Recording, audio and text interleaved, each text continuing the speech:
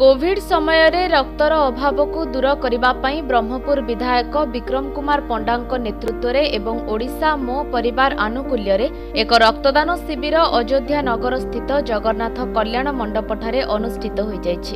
ଏହି କାର୍ଯ୍ୟକ୍ରମରେ ମାନ୍ୟବର ବିଧାୟକଙ୍କ ସହ ଯୋଗ ଦେଇଥିଲେ ଓଡ଼ିଶା ମୋ ପରିବାର କନଭେନର ଅରୁପ ପଟ୍ଟନାୟକ ଜିଲ୍ଲା ସଭାପତି ରମେଶ ଚନ୍ଦ୍ର ଚାଉ ପଟ୍ଟନାୟକ ଓଡ଼ିଶା ମୋ ପରିବାର କୋଅର୍ଡିନେଟର ସୁବାସ ମହାରଣା। ଏହି ରକ୍ତଦାନ ଶିବିରରେ ସତୁରିରୁ ଉର୍ଦ୍ଧ୍ୱ ସ୍ୱେଚ୍ଛାକୃତ ଭାବେ ରକ୍ତ ସଂଗୃହୀତ ହୋଇଥିଲା। ସମସ୍ତ ରକ୍ତଦାତାମାନଙ୍କୁ ମାନ୍ୟବର ବିଧାୟକ ମାନ୍ୟବର ମୁଖ୍ୟମନ୍ତ୍ରୀଙ୍କ ତରଫରୁ ଧନ୍ୟବାଦ ଏବଂ ସାଧୁବାଦ ଅର୍ପଣ କରିଥିଲେ। ଗଞ୍ଜାମ ଜିଲ୍ଲାରୁ ଅଶେଷ କୁମାର ପାତ୍ରଙ୍କ ରିପୋର୍ଟ।